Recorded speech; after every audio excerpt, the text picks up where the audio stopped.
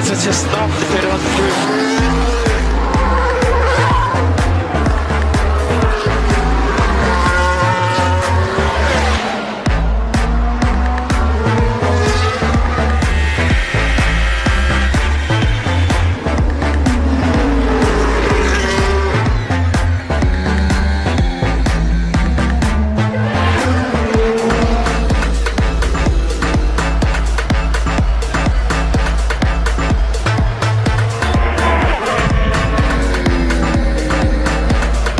through.